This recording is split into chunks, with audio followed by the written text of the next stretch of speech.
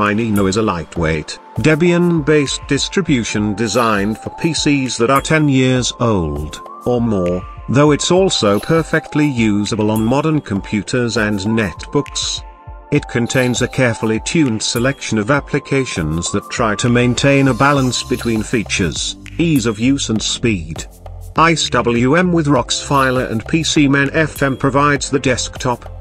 The distribution has full support for three languages, English, Galician and Spanish, and it also comes with Magic Icons, a set of tools that automate repetitive or system tasks, for example rotate or resize hundreds of digital images, convert audio or video files into other formats or burn an audio CD with a simple drag and drop.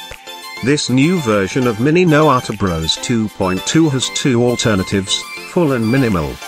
Full, with 851 megabytes, so you need to use a DVD or USB for installation. It comes with all packages upgraded. AbiWord and Gnumeric are replaced by LibreOffice and 8 by Pidgin.